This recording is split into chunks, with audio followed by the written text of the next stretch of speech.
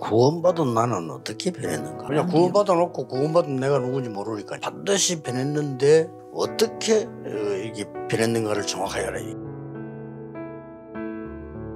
우선 잘못된 권감부터 이렇게 바꿔줘야 되죠. 그냥 종교를 가지면 구원받는다고 생각. 심지어 교회 다니는 사람도 어, 교회 등록에 교회 다니면 그 그냥 구원받았다고 열심으로 구원도 못. 받을 뿐만 아니라 그게 문제가 아니고 잘못하면은 육에 속한 사람. 마태복음 11장 28절 30절에 예수님께서는 오라고 했어요.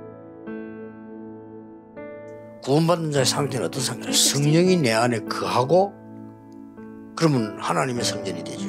로마서 8장 2절. 어, 생명의 성령의 법이 이 너를 이렇게 이, 해방시켰다고 돼.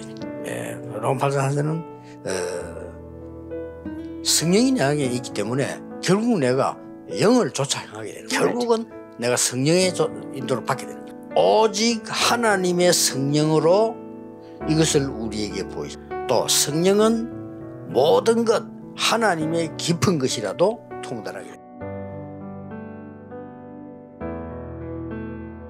그래서 이 상태에 어떻게 들어가는 요한복음 1장 12절 믿는 자 곧 그 이름을 영접하는 자는 하나님의 자녀가 되는 권세를 주려 계시록 3장 20 내가 무목에 두드러니 내 문상도 문을 열면 내가 거기에 들어가 더불어 먹으리라.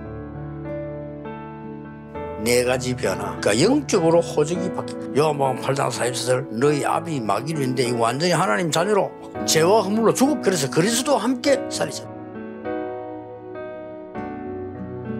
구원받은 나는 어떻게 변했는가? 반드시 변했는데 어떻게 어, 이게 변했는가를 정확하게 알아야 돼. 그러려고 하면은 제일 중요한 게 에, 말씀을 잘 이렇게 확인해 봐야 되는 거예요.